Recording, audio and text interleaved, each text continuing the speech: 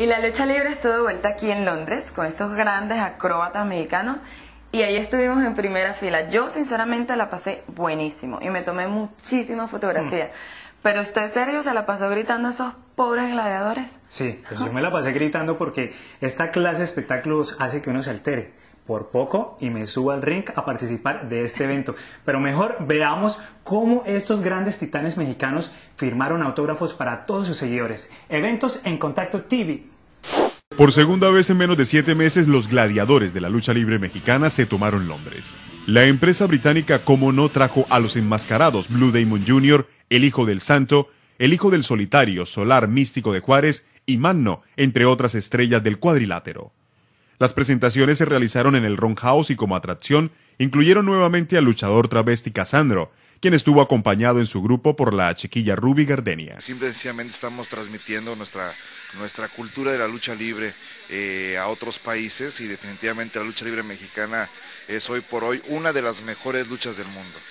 Los míticos, peligrosos, acrobáticos y enmascarados héroes mundiales brindaron autógrafos y se reunieron con sus seguidores en el West End londinense previo a las cuatro presentaciones que realizaron con éxito en la capital británica, prometiendo un nuevo espectáculo para el 2009. El restaurante La Fonda de María en Tottenham High Road entrega a sus clientes la mejor comida latinoamericana servida a la carta y su servicio ejecutivo al mediodía. A tan solo 100 metros de la estación de Seven Sister podrá encontrar los auténticos frutos del mar del Perú y la más variada gastronomía de Sudamérica. Con música en vivo en ocasiones especiales y unas amplias instalaciones para que disfrute en familia. Restaurante La Fonda de María, su casa fuera de casa. El séptimo Festival de Cine Discovery en Latinoamérica se realizó el pasado 27 de noviembre al 7 de diciembre. Andrés Barrientos, director de cine colombiano, estuvo con nosotros para contarnos más acerca de su cortometraje, llamado En Agosto. Cultura en Contacto TV. El cortometraje animado En Agosto, dirigido por el colombiano Andrés Barrientos, fue proyectado con éxito en el Reino Unido, dejando una gran impresión ante la crítica se alzó con la mención especial del jurado en el Foily Film Festival de Belfast la semana anterior.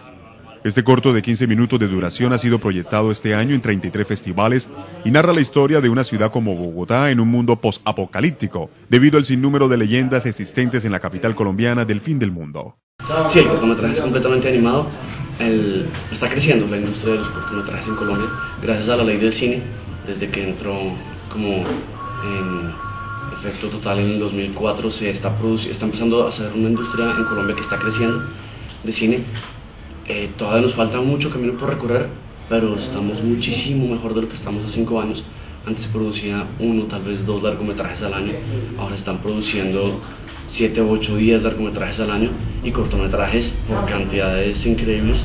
La realización del cortometraje tomó dos años, involucró a 80 personas y tuvo un coste aproximado de 200 mil dólares. Pues, por ejemplo, cortometraje de animación toma mucho tiempo. Hay otros cortometrajes en Colombia, ahorita otros dos cortometrajes que están moviéndose mucho. Uno es Rojo Red, de Juan Manuel Betancourt, y Corte Eléctrico de María Arteaga. Y en agosto, el de nosotros. Los tres cortos, por ejemplo, tomaron entre dos a tres años en su realización. Como tener el guion hasta tenerlo en pantalla. Por ejemplo, nuestro corto fue, hicimos cinco meses de preproducción y después duramos año y ocho meses haciendo la, la producción y la postproducción hasta que lo tuvimos en nuestras copias en 35 milímetros. Es un camino de poco más de dos años en tiempo completo para poder llegar a pantalla. Andrés Barrientos también nos comentó que próximamente saldrá a la venta en DVD y que en algunas pantallas de cine en el Reino Unido ya lo han proyectado como preámbulo de algunas películas que se exhiben actualmente. Los deliciosos platos colombianos se disfrutan en Londres, restaurante santafereño, orgullosamente colombianos.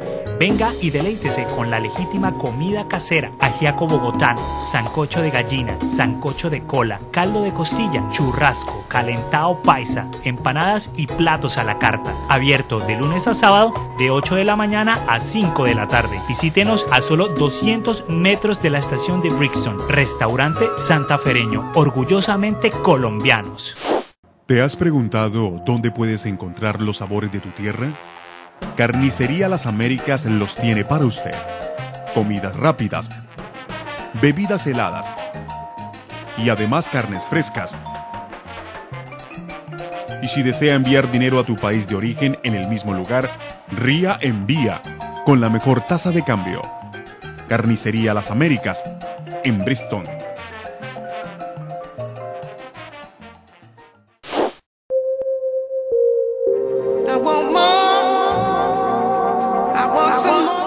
Nuestras tiendas lindas y Azuquita Boutique.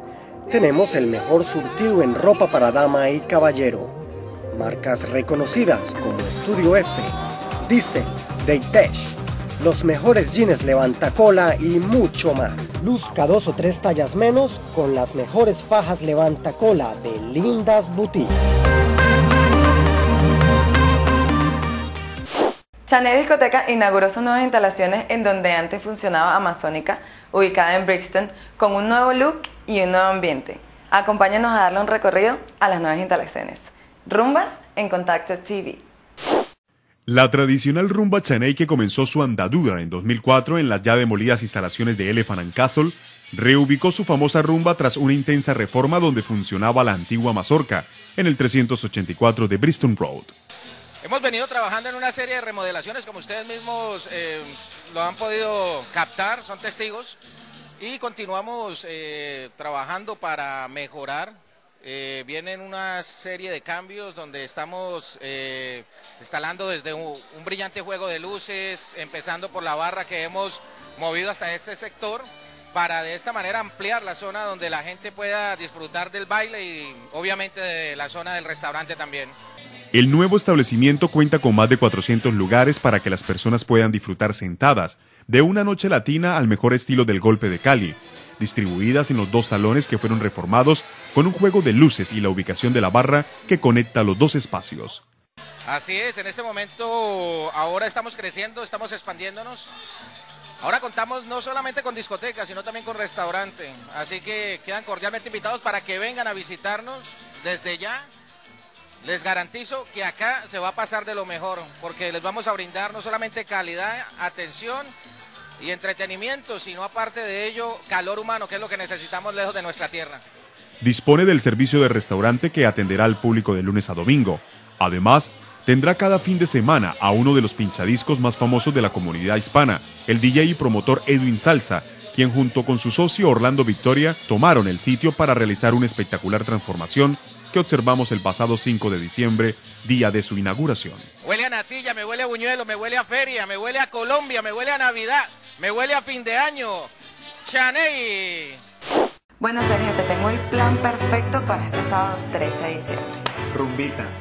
Cuénteme, ¿de qué se trata? Es una rumba que se va a organizar, es una guerra de géneros Sí. entre el electro house y el reggaetón. No, magnífico. A mí que me encanta el reggaetón. ¿Y en dónde es? Eh, queda a 100 metros de la estación de Hyper Lexington. El local se llama The Junction y la rumba se llama The Party. Bueno, ya saben, entonces programarse para este sábado 13, infortunadamente. Llegamos al final del programa. Yemelin, Sí, se nos acabó el tiempo, pero nos vemos en dos semanas. Recuérdense aquí y no se despeguen, sigan en Contacto TV. ya saben, el próximo programa es el 22 de diciembre. No se despeguen. Chao, chao.